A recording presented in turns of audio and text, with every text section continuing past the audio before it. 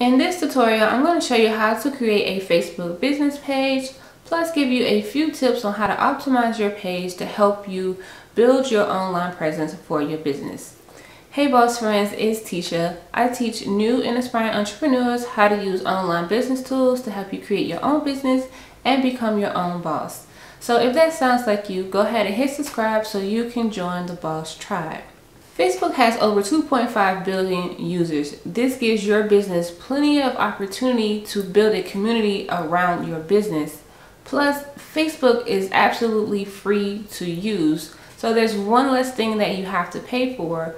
Plus, if you are new and you're just starting out, you may not have the financial resources to hire someone to create a website for you, or you may not have the skill set to DIY your website. Your Facebook business page can be an alternative to having a website for your business.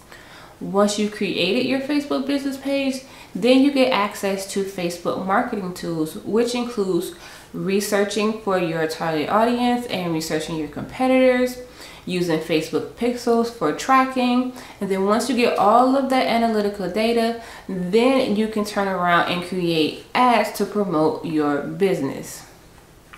Now, let me go ahead and show you how to set up your Facebook business page. Okay, so to get started with creating a Facebook business page, you first must have a Facebook personal page. So if you have not set that up or you are brand new to Facebook, you will need to do that first.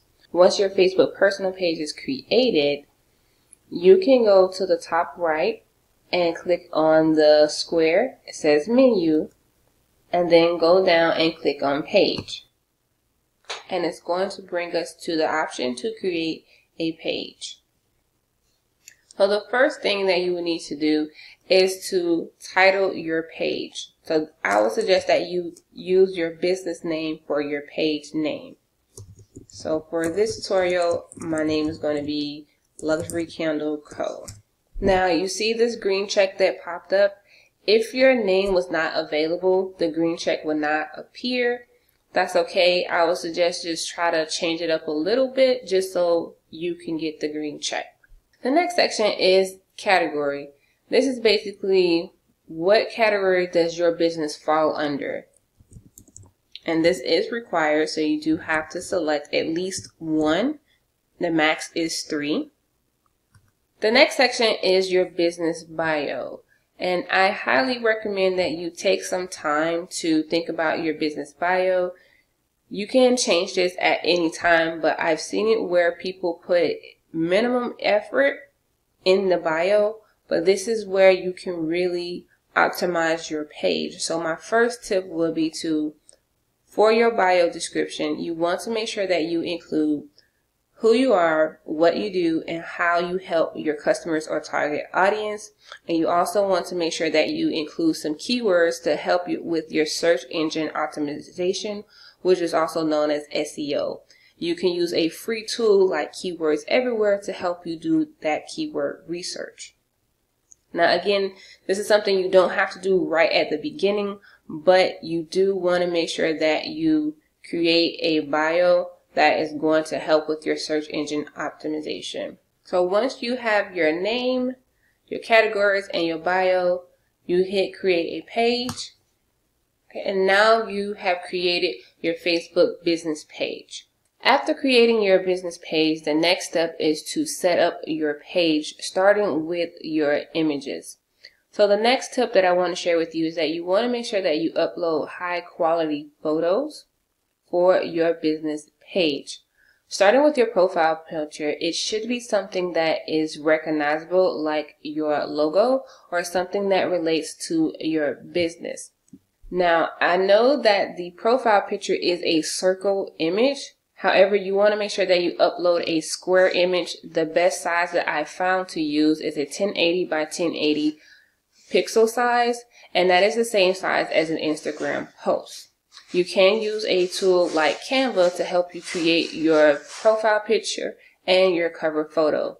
Now I already have some images that I've created, so I'm going to go ahead and upload those.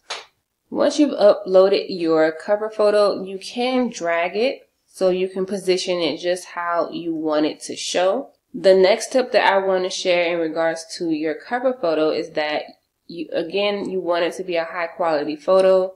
You don't want a cover photo that's full with text that can be very um, distracting.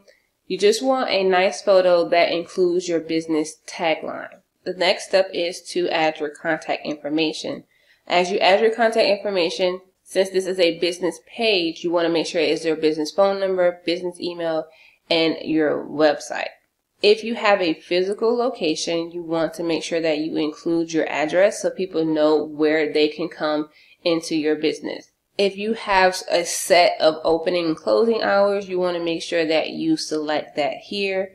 If you like an online business, you can just select no hours are available. Next, it's time to customize your call to action button. So you hit edit action button and Facebook gives you a variety of options that you can choose from. You can just select what best benefits your business. So what is the action that you want your customers to take? So I'm going to select sign up now. Click next. And then you simply just paste your URL to your lead magnet or your opt-in form.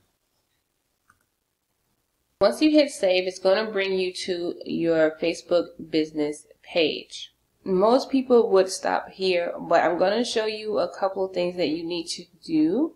So the first thing I want you to do is go over to the right and click on these three dots.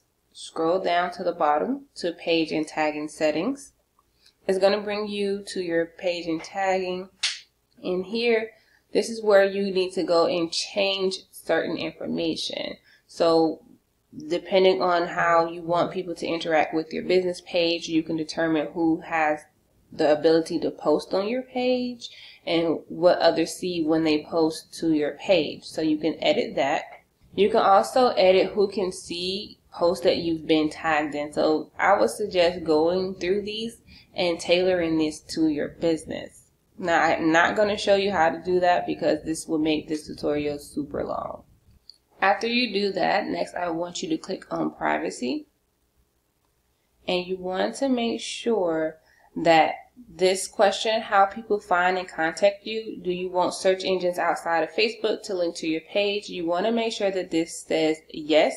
And you also want to make sure that recommended similar pages are selected on. So this means when people are searching for your type of business, this helps your business get found. Okay. So once you've done that, next just click on settings. So my next tip is to create a username for your Facebook business page.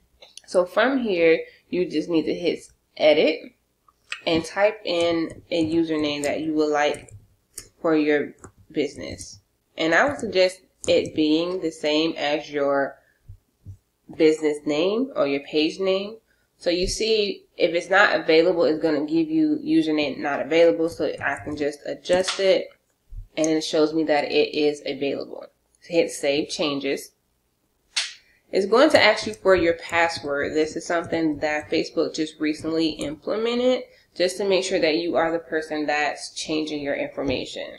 Now you have your own unique Facebook URL, which helps with your SEO. From the settings, you also have the option to link your Instagram business page and your WhatsApp. Once you've updated all of your settings, you're going to just press the back button to get back to your business page. The next section that I want you to review is your professional dashboard. You can get to your professional dashboard by going to the top right hand and clicking on manage. And from here, you're able to see information about your page as far as like your analytics, your recent content, and any updated information that you need to see for your page. Now, as you can see, there is a left-hand toolbar. It brings you to your home page. And again, it just gives you an overview, your content, and your audience. This is insights on your page. You can see all of that information here. You can see all of your posts from the last 90 days. You can also create a post from here. Once you start having people interact with your page, you can see your audience information here. You can access the ad center. You can invite friends. And as you can see, it's just a list of other options for you, such as events, create a job, who has page access, If you have a podcast, you can connect your podcast. Again, you can link your Instagram or WhatsApp.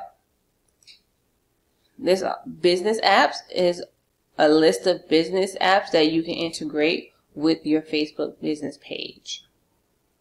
And some of these apps are shown here.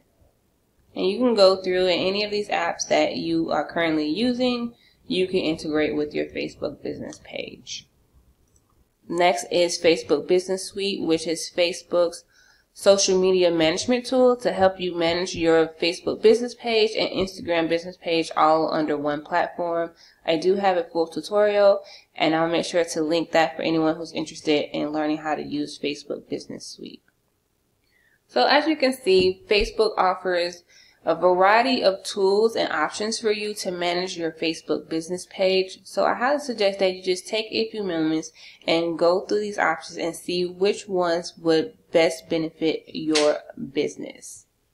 So once you've gone through all of the tools and options, you can then start inviting people to your Facebook business page. Okay, boss friends, so that is how you create a Facebook business page. Let me know down in the comments if you are currently using Facebook as a part of your own building your online presence for your business.